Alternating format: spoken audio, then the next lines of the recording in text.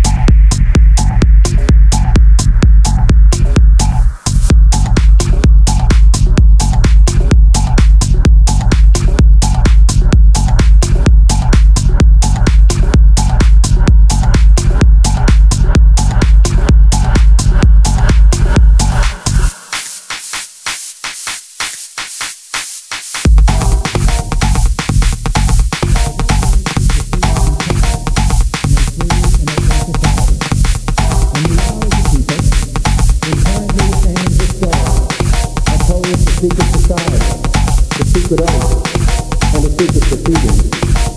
For we are opposed around the world by a monolithic and ruthless conspiracy that relies primarily on covert means for expanding its sphere of influence, on infiltration instead of invasion, on subversion instead of election, on intimidation instead of free choice.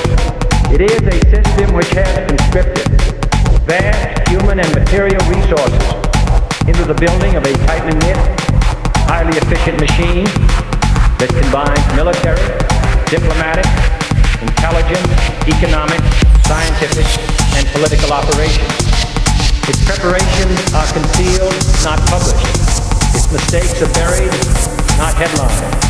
Its dissenters are silenced, not praised. No expenditure is questioned, no secret is revealed. That is why the Athenian lawmaker Solon decreed it a crime for any citizen to shrink from controversy. I am asking your help in the tremendous task of informing and alerting the American people, confident that with your help, man will be what he was born to be, free and independent.